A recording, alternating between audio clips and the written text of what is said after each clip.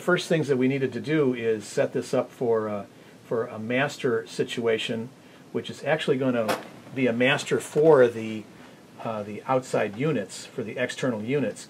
But being in master mode, it's going to accept a sync signal from Pro Tools.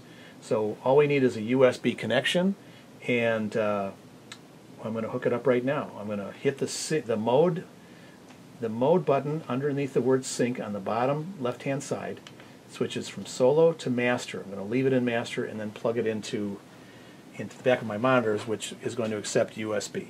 Okay? So plugging in the USB. There we go. Basically I've set up a session here and uh, we're going to be projecting just a small session with a with a, a couple four acoustic performers and uh, we want to have the uh, the BodyBeat uh, controlling a click for the performers out in, out in the live room.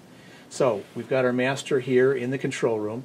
We plugged in the USB. We've set the sync uh, mode to master on the master unit. So now it's going to be accepting a sync signal from from uh, Pro Tools. Now to hook that up, we need to go into the setup window, pull down, go into MIDI, and then go to MIDI beat clock.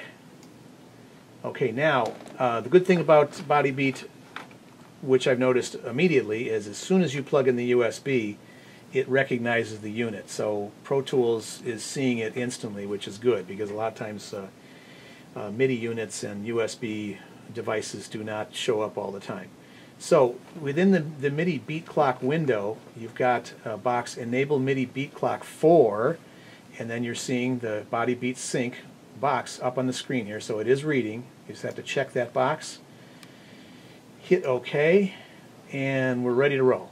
So let's see if we're working here. We've set up a, a just a template now uh, with uh, two different tempos. We have uh, a two bar count off and then we're going to go to uh, 65 is the, is the initial tempo and then we're going to switch to uh, 120 tempo.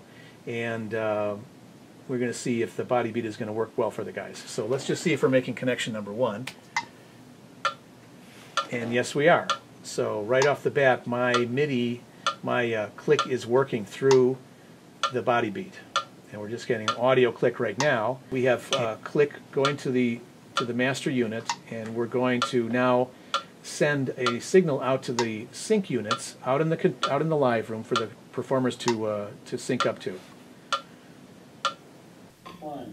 two, three, four,